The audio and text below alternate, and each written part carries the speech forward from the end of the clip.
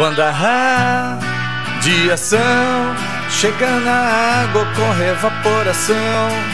Em altas altitudes ocorre a condensação, evapor, transpiração, as nuvens sofrendo acumulação. Por causa da densidade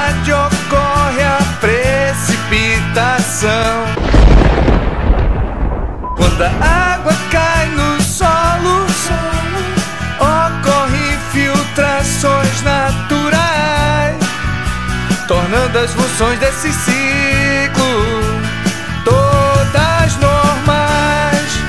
Esse fluxo inteiro faz a água escoar, sendo assim nos lençóis, água acumula. Esse fluxo inteiro faz a água escoar, sendo assim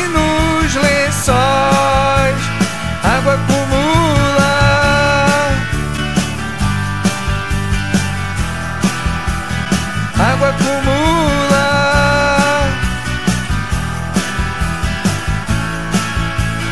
Água acumula.